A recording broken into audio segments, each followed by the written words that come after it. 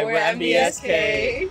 MBSK is an organization founded by former President Barack Obama for young people of color to get together and kind of socialize and understand more about their culture and other people around them. It's kind of like the sisterhood or brotherhood. It's a place for you to express yourselves with people who like you and share ideas.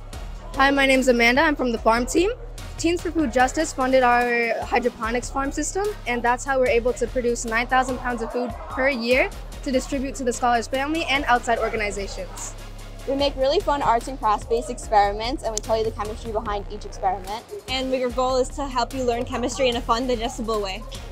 This is Business Club. We do two different activities per year. We do the stock market game and Shark Tank activity. This right here is one of our members that we helped invest smartly. He made $2,000 in the stock market game. Join Business Club. Yeah. Hi, we're South Asian Student Association.